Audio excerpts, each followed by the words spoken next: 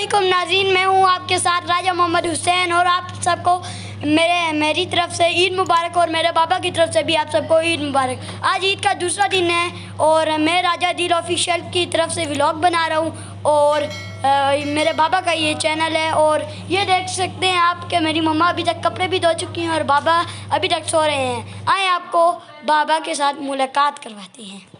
तो गाइस अभी हम बाबा के साथ मुलाकात करेंगे अश, अब चुपचाप से हम जाएँगे खामोशी से। चलिए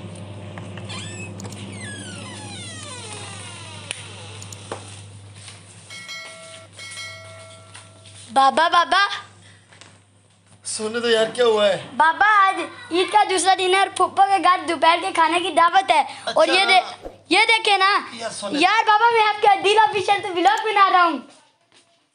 देख ले। यार किन पंगों में पड़ जाते हो आप लोग? किन पंगों में नहीं पड़ता अच्छे ही कामों में तो पढ़ा चले बात करें इनसे। क्या कर रहे हैं? अस्सलाम वालेकुम। कैसे हैं आप सब? ठीक ठाक है? से ठीक है? आप लोगों की उम्मीद करता हूँ खैर वफियत से होंगे। और आप सबको मेरी तरफ़ से और मेरे बच्चों की तरफ़ से राजा मोहम्मद अली मोहम्मद हुसैन मोहम्मद हसन की तरफ़ से बहुत बहुत ईद का दूसरा दिन मुबारक हो। इधर रखो बेटा। ईद का दूसरा दिन बहुत यार एक तो सोने भी नहीं देते हो आप लोग ना सुबह सुबह उठते ही ना। और बहुत बहुत मुबारक हो। अल्लाह पाक से दुआ भी है कि अल्लाह पाक आप सबको खुश रखे और आप सबके घरों पर अल्लाह पाक ढेर सारी रहमतें अता फरमाए। आमीन सुमा आमीन। और आप लोगों से इल्तमास भी है कि सबको अपनी दुआओं में अपनी खुशियों में ज़रूर याद रखा करें। और एक चीज़ आप लोगों के साथ मैं ऐड करता चलूँ कि फैमिली ट्रस्ट लेवल इतना होना चाहिए कि आप लोगों का मोबाइल अनलॉक हो लेकिन उसके नुकसान भी होते हैं। नुकसान ये नहीं कि आप मतलब कि किसी के साथ आपका कोई वो चल रहा हो। नुकसान ये होते हैं कि अब जिस तरह मोहम्मद हुसैन साहब ने उठे हैं मोबाइल चार्जिंग से उतारा और खोला और व्लॉग बनाना शुरू कर दिया और आपकी नींद भी नहीं पूरी करने देते। ये बड़ा नुकसान होता है। और ये ट्रस्ट लेवल इतना होना चाहिए कि पासवर्ड लॉग सारे आपकी फैमिली को पता होने चाहिए। और मेरा अलहमदिल्ला मेरी मिसिस को मेरे बच्चों को आ, मेरा मोबाइल इनके पास होता है और ये यूज़ करते रहते जब मैं घर आता हूँ। और उसके अलावा ये कि आज ईद का दूसरा दिन है और इसने ब्लॉग स्टार्ट कर लिया वरना मैंने तो कल भी बनाना था नहीं बना सका। मुसरफियात इतनी थी लेकिन इन्होंने कहा चले जी हम खुद ही शुरू कर देने पता नहीं क्या बोला है पीछे। वो मैं देखूँगा तो पता चलेगा। तो आज ईद का दूसरा दिन है आज आज हमारी दावत है सिस्टर के तरफ़ से और हमारे चाचा के घर दावत है चाचा के यहाँ ही हमारी सिस्टर होती है। तो आज वहाँ जाएँगे वहाँ पर हमारी दिन का खाना है? दोपहर का। दोपहर का खाना है। तो वहाँ पे भी इंशाल्लाह आप लोगों से गपशप होगी ज़रूर रखिएगा मैं मुँह धो लूँ नाश्ता तो कर लूँ अभी मेरे ख्याल से थर्ड दस हो चुके हैं दस हो चुके हैं मैं भी नाश्ता करता हूँ फिर ताकि दोपहर के खाने की जगह भी तो रखूँ पता नहीं उन्होंने क्या कुछ बनाया होगा तो लेट्स सी तो हमारे साथ रहिएगा वालेकुम अब मैं तैयार हो चुका हूँ फ्रेश हो चुका हूँ और अभी आ, कपड़े पहनकर तैयारी करते हैं जाने की मोहम्मद हुसैन बेटा कपड़े लेकर आओ अच्छा तो अब तैयारी हो चुकी है जाने की तो अभी इन मैं तैयारी करके फिर अब हम मूव करेंगे अ, सिस्टर के घर की तरफ़ और मोहम्मद हुसैन यार आ जाओ ना बेटा। जी बाबा यही जी तो कपड़े आ गए हैं मेरे आपने पहले दिन भी यही कर पहने थे दूसरे दिन इस साइड पे आ जाओ इधर आ जाओ। क्या कह रहे हो? हाँ बिल्कुल ऐसे ही है। पर आपने कहा था कि मैंने दूसरे भी सिलवाए मिस्टर टेलर से पर दूसरे का मैं मैं बताता हूँ। कपड़ों का क्या हुआ जी? आज भी मैं वही कल वाला सूट पहन रहा हूँ। और ये क्यों पहन रहा हूँ? मेरे दूसरे सूट खैर मिसिस को तो पता है। कि नहीं है लेकिन बच्चों को नहीं था पता इन्होंने समझा कि हो सकता है कि मैं वो दूसरा सूट भी लाया हूँ। तो मेरा दूसरा सूट बदकिस्मती से कह सकते हैं या फिर मैंने उस टेलर के ऊपर रहम करते हुए मैंने उसे कुछ कहा नहीं कि उसके पास रश बहुत ज़्यादा था मेरा दूसरा सूट उसके पास पड़ा हुआ है अनस्टिच अभी तक उसने स्टिच नहीं किया था। तो ये एक ही सूट तैयार किया। तो बच्चों ने कल तो कपड़े पहने तो मोहम्मद सैन साहब ने देखे जी आज भी ये पहने हैं दिखाएँ जरा। ये नए पहने हैं जी माशाल्लाह इसने नए पहने हैं दूसरे दिन। और क्योंकि बच्चों ने तो दो दो पहनने चाहिए। और मैं ऐसे झूठ तो मैं नहीं बोल सकता कि मैंने इसलिए नहीं पहने मैंने उसलिए नहीं सिलवाए सिलवाए हैं। दूसरा सूट भी मेरा रेडी है सिला नहीं है लेकिन टेलर के पास मौजूद था क्योंकि रश होता है रमज़ान के आखिरी दिनों में और वो बेचारा परेशान भी था कह रहा था भाईजान प्लीज़ और मोहम्मद हसन का भी सूट उसने नहीं बनाया कपड़ा उसके पास पड़ा हुआ है। तो फिर मोहम्मद हसन के लिए भी मोहम्मद हुसैन के हसन के लिए। तो फिर हुसैन के लिए। सॉरी सॉरी सॉरी इसके लिए। तो वो भी मेरे कपड़ों की तरह ही था। तो वो कह रहे हैं यार रश है तो इस वजह से मैं नहीं कर सका तो मैंने कहा चले कोई बात नहीं। तो चले मैं अभी जल्दी से कपड़े पहनता हूँ और फिर उसके बाद आप लोगों के साथ होती है मुलाकात। जी तो ये रहे कपड़े हो गए मेरे तैयार और कपड़े मैंने पहन लिए हैं और अभी मैं बाकी तैयारी शरी करता हूँ और जैसे हम निकलेंगे तो एक बार फिर आपको बताएँगे कि हम लोग कौन कौन लोग जा रहे हैं सिस्टर और चाचा के घर। फाइनली अब गाड़ी स्टार्ट हो चुकी है। अभी हम निकलने वाले हैं। आ, मेरे अम्मी और बच्चे आ रहे हैं। आ, यार मोहम्मद सैन थोड़ा सा पानी उठ ले ना यार। यार डालो जल्दी करो। तो आ, अभी फिर हम निकल रहे हैं इनशाला तो गाड़ी स्टार्ट हो चुकी है। हाँ भाई। टैंकी भी खा लिया पर फिर भी बाबा कह रहे हैं कि डालना ही डालना है। यार प्लीज़ कैसे अरेंज करो? गाड़ी आगे फिर शीशा फ्रंट वाला। नहीं अच्छा लग रहा ना पुत्र ये अच्छा लग रहा। चले अच्छा बंद करो मैं मैं गाड़ी गेट से बाहर निकालू आप मेरे साथ रहिएगा मैं गाड़ी नहीं, गेट से नहीं, बाबा ड्राइव ही आप इस साइड पे आ जाओ आप इस साइड पे आ जाओ इस साइड पे आ जाओ जल्दी करो इस साइड पे आ जाओ जल्दी आ जाओ जल्दी आ जाओ। अभी हम निकल रहे हैं। तो इसने बहुत बहुत शरारती बच्चा है मेरा, बहुत शरारती है और इतनी मस्तियाँ करता है ना ये, जिसका अंदाज़ा नहीं है। लेकिन चले खैर, कोई बात नहीं, अभी मैं मोबाइल इसको देख रहा हूँ, ये वीडियो बनाएगा, मैं गाड़ी बाहर कर लूँ। ये पकड़े ज़रा, जल्दी करें, सही करके बातें शातें करें इनके साथ। और मेरी बात सुने, बाबा को प्लीज़ एक बार कहें कि मुझे ड्राइव करने दे प्लीज़ और आप सब अगर नहीं किया तो अभी सब्सक्राइब लाइक सब्सक्राइब और बेल आइकन को प्रेस ज़रूर कीजिएगा और मेरी बात सुने, ये देख सकते हैं, बाबा किस तरीके से गाड़ी चला रहे हैं। ये देखिए। यार मैं गाड़ी चला रहा हूँ लेकिन थोड़ी सी मुश्किल एरिया है ना। यहाँ गाड़ी मोड़ना टर्न करना। ये तो है। बड़ा मुश्किल है बुलाओ। तो ये देखिए गाड़ी अब होगी यहाँ पर और अब सही है। अच्छा बात सुने जी अभी मैं आपसे इजाज़त चाहूँगा गाड़ी हो चुकी है वापस और अभी मैं आ, मेरे अब्बा जी और अम्मा जी भी आ रहे हैं तो अभी हम लोग निकल रहे हैं किधर जी? अपने आपके चाचू मेरे चाचू के आपके क्या लगते हैं? अबू दादा। इनके अबू दादा लगते हैं, मेरे चाचा हैं और इनकी पुप्पो जो मेरे कज़न के यहाँ होती है उनके पास जाना है, उनके घर में हमारी आज दोपहर का क्या है जी? खाना है मतलब ईद मिलने के लिए भी हम जा रहे हैं। कल आ, कल का दिन बहुत ज़्यादा मसरूफ़ गुजरा क्योंकि गाँव में बहुत सारी फोतियाँ भी हुई थी और फातह वगैरह करनी होती है।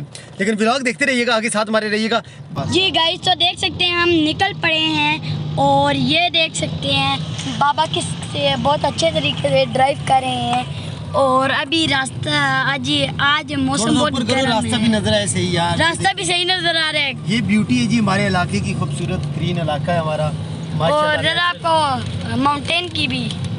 माउंटेन तो नज़र आ रहे हैं जी बड़े बड़े पहाड़ हैं खूबसूरत दरख्त है। सबसे बड़ी जो खूबसूरती है ना चीड़ के दरख्तों की चीड़ के दरख्त। और ये मुझे दिखाइएगा एक minute. Ji thank you so Mohammad Sain से लेके। ये देखिए जी नेचुरल ब्यूटी जिसे कहते हैं खूबसूरती। और बहुत बड़े बड़े पहाड़ हैं और आप लोग सोच रहे होंगे ये कौन सा इलाका है? और देखिए ये सामने जो खूबसूरती नज़र आ रही है आसमान भी आपको नज़र आ रहा है कितना प्यारा लग रहा है और चीड़ के दरख्त हैं। और सबसे बड़ी मज़े की बात कि मौसम जो है ना ठंडा भी है और सर्द भी है। इस इलाके में ये खूबसूरती है। आप पीछे दूसरी गाड़ी भी आ चुकी है जी हमारी। और ये दूसरी गाड़ी वाला कोशिश कर रहा है कि गाड़ी को आगे लेकर जाया जाए। ये गाड़ी लेके आगे निकल ये हमारी दूसरी गाड़ी ये हमारी दूसरी ये हमारी दूसरी गाड़ी है। ये हमारी दूसरी है ये हमारे भी ताए हैं। हाँ। ये बड़े हैं, ये छोटे हैं, पीछे एक बच्चे की आवाज़ आ रही है। ये बच्चा हमारा भतीजा है छोटा और बड़ा खुश हो रहा है। और गाड़ी जब दो मिनट मोबाइल इधर देना। ये देखिए ज़रा। ये ये देख सकते हैं ज़रा आप के व्यू बहुत मज़े का नज़र आ रहा है। और भी ये हमारे अच्छा छोड़े है, मुमतान। अच्छा गाइस बात सुने। अब हम अब आपसे बात करेंगे। जब पहुँचेंगे चाचा जी के घर तो वहाँ के हालात भी आपको दिखाते हैं कि हमें खाने में क्या दे रहे हैं। जी तो अस्सलाम वालेकुम हम लोग पहुँच चुके हैं चाचा के घर के बाहर और सब लोग जा चुके हैं। मैं भी जा रहा हूँ। गाड़ी मैंने ऐसी जगह खड़ी कर दी है मैं यहाँ से निकलूँ तो फिर आपसे बात कर ईद का दूसरा दिन। और मैं इनके घर आ चुका हूँ। जी तो हम पहुँच चुके हैं फाइनली जहाँ पे आज हमारी दावत है। मोहम्मद सैन किधर गया है? जी अस्सलाम वालेकुम। कैसे हैं जी? ये इनके घर में आए हूँ जी। ये मेरा भांजा भी है और आ, मेरे चाचा का पोता भी है। और आज इनकी तरफ़ से आज हमें दूसरे दिन जो है ना खाने की दावत है। खाने की दावत। पूछिए फाइनली हम चाचा के घर पहुँच गए। ये है मेरे चाचा और इनकी तरफ़ से आज हमें दावत है ईद की। तो ये पूरा विलाग हम आपको आज दिखाएँगे और किस तरह हमने सुबह उठे हैं तैयारी की और आज ईद का दूसरा दिन इनके घर है हमारा। और बल्कि पूरी फैमिली का घर है। और हाँ ये है मेरे छोटे बहनोई भी हैं और कज़न भी हैं राजा मुरसलीन साहब। वालेकुम। ये तो हमसे पहले पहुँचे हैं जी। खाने की दावत भी हमसे पहले ये पहुँचे हैं क्यों पहुँचे हैं? वैसे क्यों हुई है। क्या है जी? ठीक है। तो अभी हम चलते हैं अपने दादा और दादी की कब्रों पे। आवाम ने फातिहा करनी है दादा और दादी की कब्र पे फिर वापस आके बताते हैं कि खाने में इन्होंने हमारे लिए क्या तो आ, आ, मैं भी जाऊँगा। क्या कह रहे हैं क्या किया? लेकिन अभी चलते हैं। हाँ आज मेरे दादा की कब्र पे जा रहे हैं और दादी की। ऐसे ही? है। जी तो मोहम्मद सैन मेरे ख्याल से ये अब हम आज ये है अरमान। हमारा एक इधर पठान है जैद खान उसका बेटा। कैसे हो? ठीक हो? ईद कैसी गुजरी? अच्छी माशाल्लाह। आपकी ईदी मैंने आपकी मम्मा को दे दी है ठीक है? ओके चले आ जाए जी। अब हम चलते हैं अपने दादा और दादी की खबर पे। और मेरी दादी और दादा की जहाँ पे खबर है वो आपको दिखाते हैं। जी अभी हम आ चुके हैं। कितना खूबसूरत एरिया है व्यू है। और ये हमारे घर से तकरीबन डेढ़ जी बिल्कुल ऐसी हरियाली वो देख रहे हैं। डेढ़ से दो किलोमीटर दूर है। और जो मेरे अब्बा जी थे वो सबसे पहले इधर आ करते थे यहाँ पर। और फिर उसके बाद हम लोग काफ़ी दूर शिफ्ट हो गए तो ये भी पहुँच चुके हैं कबर पे और अब व्लाग बनाएँगे मोहम्मद हसैन और फिर उसके बाद मैं जब फातह करूँगा तो वो फिर आपको दिखाऊँगा इन ठीक है जी? अ,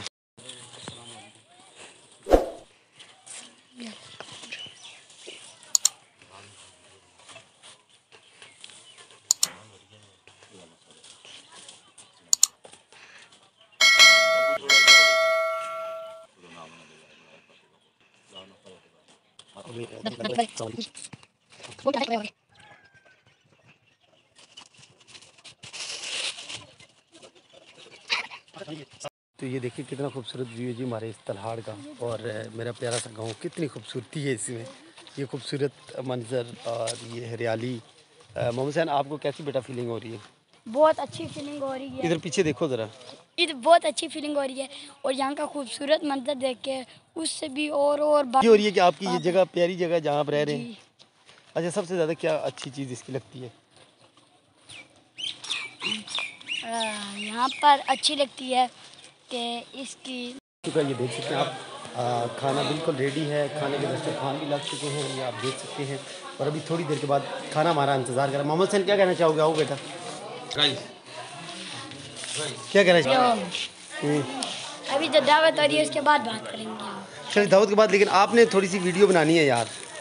दावत के दावत के बाद बनाएँगे। जब खाने पे सारे बैठेंगे तब ओके जी। मोहम्मद हुसैन कह रहे हैं जी खाने के बाद बनेगी और ये देख सकते हैं आप। गेस्ट ऐसे जो जो रह गए उनका इंतज़ार किया जा रहा है। मोहम्मद हुसैन आप क्या कहते हो? जैसे गेस्ट आते हैं फिर खाना शुरू करते हैं क्योंकि वैसे खाना तो इन्होंने लगा दिया। तो खाना लगता भी है मज़े का। और एक चीज़ स्पेशल सुने मेरी की डिश स्पेशल बनाई गई है। क्या बनाया गया है? तो नहीं कोई और चीज़ भी बनाई गई है। लेडी फिंगर मेरी बनाई गई है। मैं क्या करूँ मैं तो वही समझ के आया था लेकिन यहाँ कुछ और ही बना हुआ है गाइस अब देखते हैं। ये मैं भी भाई भाई ये रोटियाँ बन रही हैं तंदूर की ये ज़बरदस्त किस्म की रोटियाँ तैयार हो चुकी हैं। और ये पीछे जो आवाज़ें आ रही है ये हमारी अ, क्योंकि आज फैमिली की हमारी दावत है सबकी चाचा के घर सब लोग अपने यहाँ जमा हुए हमारे पूरे जितने भी रिश्तेदार हैं और ये आप देख सकते हैं लेकिन ज़बरदस्त तो सो गाइस तो अभी तो आपने बनती अभी देख ली। जी अभी तो रोटियाँ बनती हुई देख ली। अब ये रोटियाँ हमारे पेट में जाते हुए कैसे देखेंगे। ये हम देखेंगे ये ये आप लोगों को नहीं पता। आ जाओ। और मेरी भिंडी राइस और ये रोटियाँ हैं इसके क्या है? चिकन भी है मौजूद और आगे देखते हैं क्या है। इसके आगे भी चिकन है ये राइस है और तो गाइस अभी सारे मर्द देख सकते हैं कि सारे बैठ गए हैं खाने के लिए और अभी तक तो जितने भी हैं मुझे भी भूख लग रही है तो चलो बैठ जाता हूँ उसके बाद खाना खाने के बाद आपसे मुलाकात होगी। अल्लाह जी तो फाइनली हम बैठ चुके हैं जी खाने पे। ये हम कज़न हैं सारे।